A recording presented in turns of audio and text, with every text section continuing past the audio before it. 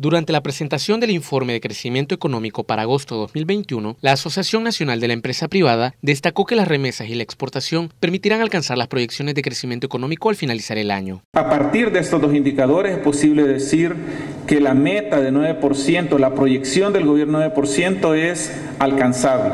Al menos va a ser posible recuperar lo que perdimos el año pasado. El informe también reflejó un significativo crecimiento en la recaudación fiscal en comparación al año 2019 y 2020. Hemos visto que las familias y las empresas continúan aportando de manera histórica a los impuestos de este país.